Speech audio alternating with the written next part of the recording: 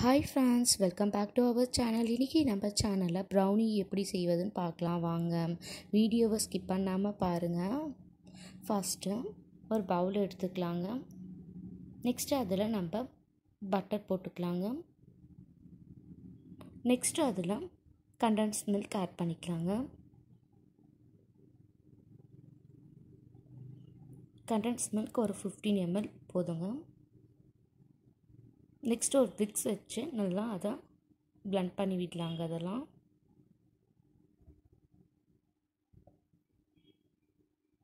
அப்படியே அந்த பட்டரில் நல்லா உருகி நல்லா வருங்க.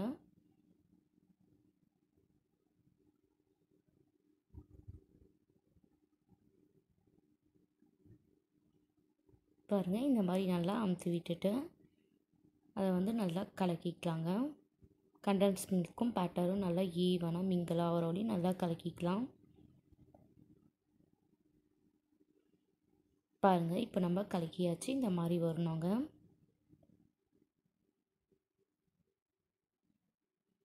பாருங்கள் எவ்வளோ க்ரீமியாக இருக்கு.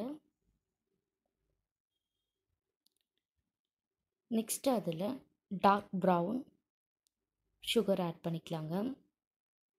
சுகர் பார்த்திங்கன்னா ரெண்டு ஸ்பூன் ஆட் பண்ணியிருக்கோங்க அந்த சுகர்லாம் நல்லா கரையிறோடி நல்லா கலக்கி விட்டுக்கலாம்.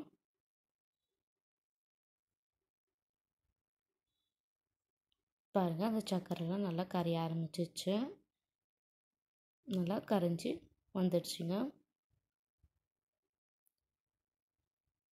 நெக்ஸ்ட்டு அதில் கால் ஸ்பூன் சால்ட் ஆட் பண்ணிக்கலாம். கால் ஸ்பூன் கம்மியாக கூட சால்ட் ஆட் பண்ணிக்கலாங்க. ஆட் பண்ணி நல்லா கலக்கிக்கலாம்.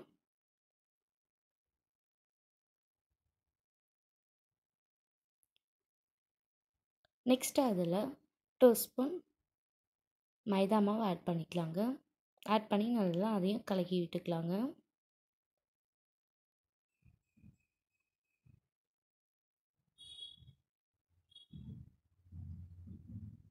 நல்லா கலக்கி விட்ட பிறகு அதில் நம்ம கொக்கோ பவுடர் ரெண்டு ஸ்பூன் ஆட் பண்ணிக்கலாம். அதையும் நல்லா கலக்கிக்கலாங்க.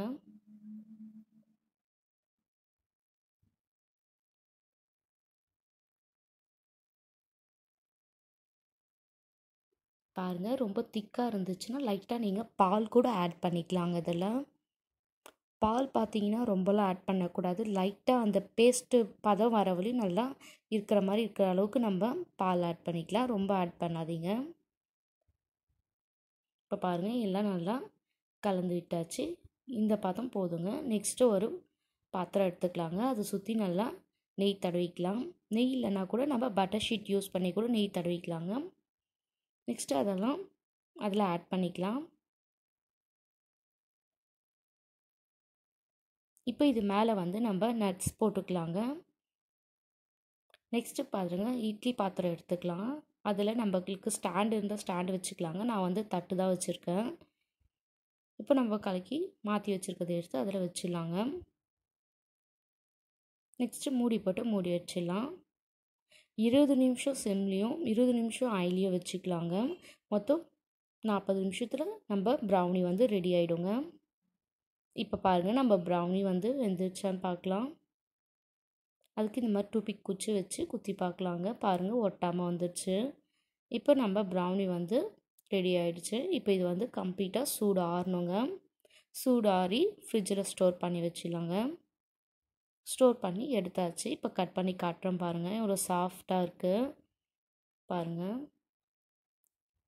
எவ்வளோ சூப்பராக இருக்குது பாருங்கள் இப்போ நம்ம ஹெம்மியான ப்ரௌனி சாக்லேட் ரெடி ஆகிடுச்சு